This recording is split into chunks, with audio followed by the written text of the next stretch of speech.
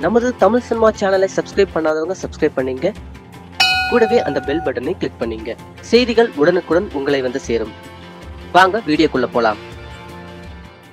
நடிகைகளுக்கு திருமணம் ஆகிட்டா சினிமா வாய்ப்பெல்லாம் குறைஞ்சிரும். அப்படிதான் நம்ம கேள்விப்பட்டிருப்போம். ஆனா திருமணம் ஆனதுக்கு அப்புறம் தான் நிறைய படத்துல கமிட் ஆகி கலக்கிட்டு இருக்காங்க நம்ம சமந்தா.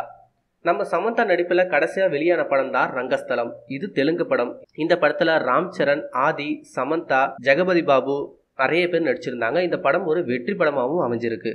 இந்த ரசிகர் மத்தியில் நல்ல வரவேற்பு கிடைச்ச இந்த படத்துக்கு வெற்றி அமைஞ்சதுனால நேத்தி இந்த படத்துக்கு சக்ஸஸ் மீட் நடத்தினாங்க. இந்த சக்ஸஸ் மீட்டில் வந்த சமந்தாவோட ட்ரெஸ் தான் ஹைலைட் புடவையில தான் வந்தாங்க. இருந்தாலும் அவங்க புடவை கட்டியிருக்காங்களா இல்லையான்றது சந்தேகம் வந்துருச்சு. அந்த அளவுக்கு கவர்ச்சியான ஒரு உடையில வந்திருந்தாங்க. ஹேர் ஸ்டைல் கூட ரொம்ப டிஃப்ரெண்ட்டாக வச்சுருந்தாங்க. விழாவுக்கு வந்த அவங்க ஒரு இடத்துல ரெண்டு கையும் தூக்கி வணங்குற மாதிரி ஒரு புகைப்படம். அந்த புகைப்படத்தில் பார்க்கறதுக்கு ரொம்பவும் கவர்ச்சியாக இருக்கிறதுனால இப்போ அந்த புகைப்படத்தை நிறைய பேர் ஷேர் பண்ணிகிட்டு இருக்காங்க.